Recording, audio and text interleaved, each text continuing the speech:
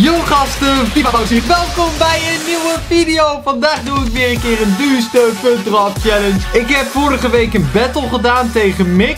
Maar vandaag doe ik het weer alleen. Want ik ga weer super veel fun drops maken. En dan wil ik gewoon over mijn vorige record heen. Want ik had de vorige video een team gehaald van meer dan 13 miljoen coins. Het team is op de PlayStation 4 gewoon 13 miljoen coins waard. En op de Xbox One 11 miljoen coins. Holy shit, dit is echt niet normaal. Ziekelijk veel. Wil jij graag FIFA coins? Ga dan naar fifacoinsmarkt.nl en gebruik de code BOUWS voor ook nog eens een lekkere korting. Maar vandaag is het dus aan mij de opdracht om over die 13 miljoen coins heen te gaan. Dat gaat sowieso bizar lastig worden, maar ik ga het gewoon proberen. Ik had trouwens even opgezocht wat ongeveer het duurste team is wat mogelijk is in FIFA. En dat zit rond de 22 à 23 miljoen coins. Dan heb je gewoon de allerbeste spelers nodig allemaal in één draft. En ik denk dat dat bijna wel onmogelijk is, maar ik ga in ieder geval mijn best doen. Let's go, eerste draft. En, oh, ik heb nog een draft staan. En een goede opstelling. Ja hoor, 3, 4, 2, 1. Helemaal prima. Kom op. Geef me dan nu een goede aanvoerder. Team of the Year. Die krijg ik inderdaad. Ik ga natuurlijk niet voor Messi. Ik ga voor Team of the Year Ramos. Die is volgens mij ook wel een miljoen coins waard. Dus dat is best lekker. Team of the Year Ramos is inderdaad over de miljoen coins. Namelijk 1,3 miljoen coins op de PlayStation 4. Voor een verdediger is dat best wel heel veel.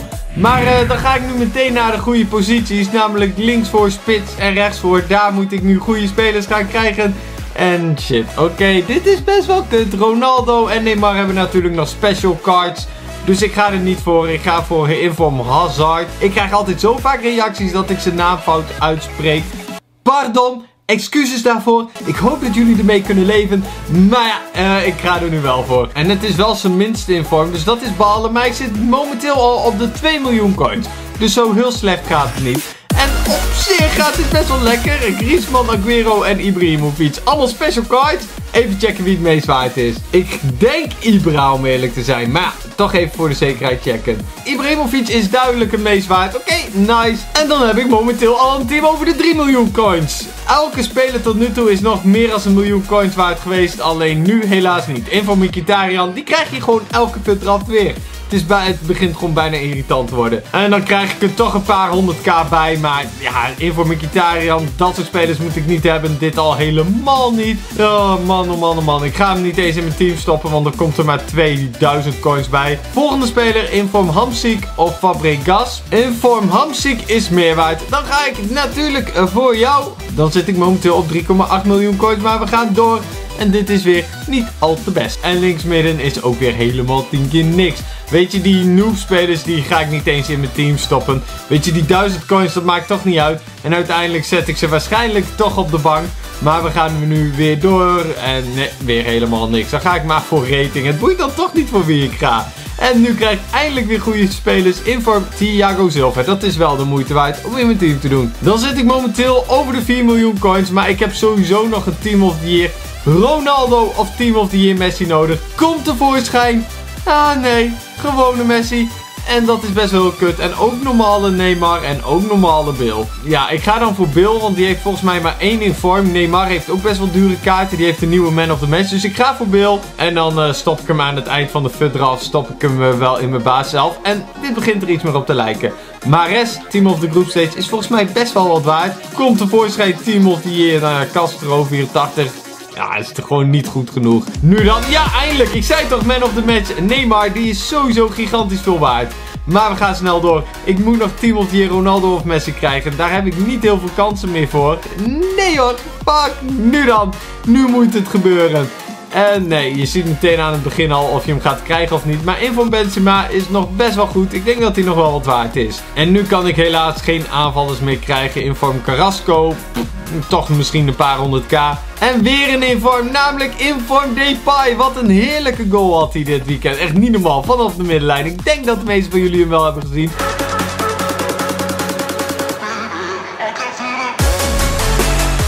Bizar gewoon. Wel nice dat Depay weer goed begint te voetballen. Ik, het is hem gegund. Maar we gaan door en nee, helemaal niks.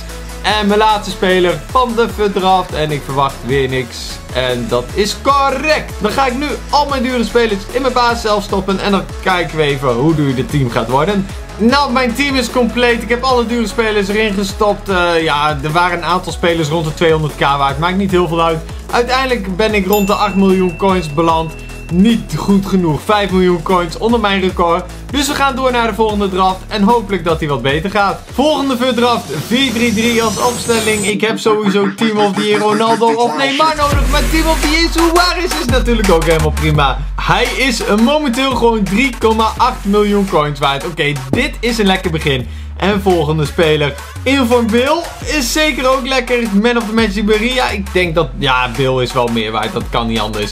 En dan zit ik momenteel over de 5 miljoen coins heen. Oké, eindelijk gaat het lekker. En linksbuiten, holy shit. Year Ronaldo. Wat een begin is dit. Ronaldo. Hoeveel? Uh, dan zit ik nu al bijna op de 10 miljoen coins. Ik zit nu al bijna op de 10 miljoen coins. Holy shit, dit kan misschien al mee een nieuw record worden. Oh, Inform Kroos. Prima, prima. Dan zit ik nu helemaal over de 10 miljoen coins. Inform. Ja, ik zit nu op de 10 miljoen coins. Oké, kom op. We gaan door. Ik heb nog maar een paar hele goede spelers nodig. In ieder geval qua rating. Dan kan ik het gewoon halen. Holy shit. Oké, snel door. Volgende centraal midden Team of the Year. Nou ja, het zijn natuurlijk niet altijd goede spelers. Dat is jammer. Ik ga wel voor deze keer. Oké, rechtsachter. Kom op. Uh, ja, er zijn niet heel veel dure rechtsachters. Maar het zou toch mooi zijn. Maar Carvajal, nee. Ik, ik stop ze gewoon niet in mijn team. Heeft geen nut. En inform... Oh, Team of the Group Stage. Godin, die stop ik wel in mijn team. Dan gaat mijn prijs weer 200k omhoog. Dat valt eigenlijk wel mee, maar beter iets dan helemaal niet. Kom op, ik wil mijn record verbeteren. Het begon zo goed deze put eraf. Maar het, het, wordt nu wel steeds minder. Linksachter vervolgens. Man. Keeper. Oh ja, nice. Nu ga ik het sowieso halen. Team of the Year, Neuer. Dan stop ik Neuer in mijn team. En dan zit ik momenteel op 11 miljoen coins. En ik heb nog een hele bank te gaan. Dus op de bank kan ik nog zoveel goede spelers krijgen. Ik begin bij reserves. En dan alsjeblieft, laat me dan Neymar krijgen of zo. Nou, een inform is sowieso niet waard. Oké, kom op, volgende. En uh, worden dit goede spelers? Dit worden zeker goede spelers. Inform Lacazette of Inform Robin? Even checken. Ja, Inform Lacazette is duidelijk meer waard. 400k om precies te zijn. Dan zit ik nog steeds onder 13 miljoen coins. Maar ik heb nu weer Inform Robin en Team of the Group steeds Euzel. Even kijken hoeveel Euzel gaat. 290k. Ja, Robin, zijn beste Inform, die gaat sowieso voor meer. Inderdaad, die gaat voor 500k. Oké, nice. Dit gaat lekker. Volgende speler. Inform Immobile. Nou, goed genoeg. Ik heb trouwens momenteel 91 beoordeling. Dat is wel echt sick. Maar qua teamgeest gaat het sowieso niet lukken. Maar ik krijg nu Inform Mane. Ik krijg best wel goede spelers nu. Volgens mij is die Mane ook gewoon veel waard. 400k is Inform Mane waard. Ja, die andere twee zijn sowieso niet meer waard. Dus ik, denk, ik weet nu al bijna wel zeker dat ik over de 13 miljoen coins zit. Maar het zou toch zo mooi zijn als ik nog één ziek dure speler kan krijgen. Ik heb nu nog één kans op een Team of the Year aanvaller. Het zou toch zo bizar sick zijn als ik ook nog Team of the Year Messi weet te krijgen. Kom op, kom tevoorschijn. Ah, nee. Nou, Inform Royce is ook echt best wel goed. En ik denk dat hij ook best wel veel waard is. Ah, dit is dan wel weer jammer. We gaan door naar de volgende. Kom op. Ah, nee, nu niet. Nou ja, maakt trouwens ook niet heel veel uit. Meestal krijg je wel een keer een zilveren speler in een FUT eraf. Daar kan je niks tegen doen. Maar volgende... Nee, het is weer allemaal niks. Volgende speler. En het zijn allemaal non-special cards. En daar heb ik natuurlijk helemaal geen drol aan. Ik ga wel voor deze. Dan kan ik misschien nog een 190 FUT eraf maken of zo. En mijn keeper vervolgens, nou, Handanovic. Misschien is hij nog wel wat waard. 170k is hij waard, maar hij komt toch niet in mijn baas 11. Dus ik ga er niet voor. Ik ga voor deze Moja. Dan ga ik eerst het duurste team maken. En daarna ga ik nog even kijken of ik een 190 fut eraf kan krijgen. Want ik heb zulke zieke spelers. is echt niet normaal. Holy shit. Ik heb al mijn spelers nu in mijn team gestopt. Zeg maar op de computer waarmee ik de prijs kan zien. En mijn team is gewoon over de 14 miljoen coins waard. Nice, ik heb mijn record van vorige keer verbroken. Maar dat komt natuurlijk door Team of the Year Suarez en Team of the Year Ronaldo en Team of the Year. Dat zijn gewoon zulke dure spelers, echt niet normaal. Met alleen mijn aanvallen had ik al bijna 10 miljoen coins. Dus moet je nagaan hoe duur die aanvallen zijn. Bij de 3000 likes ga ik proberen om dit record weer te verbeteren. En het zou wel sick zijn als dat weer gaat lukken. Oh, dat zou zo bizar zijn. Maar dan ga ik nu even al mijn spelers goed neerzetten en dan ga ik kijken of ik nog 190 fut eraf kan halen. Dat zal wel echt sick zijn. Nou, het valt uiteindelijk toch nog redelijk tegen. Een 189 fut eraf. is natuurlijk niet slecht.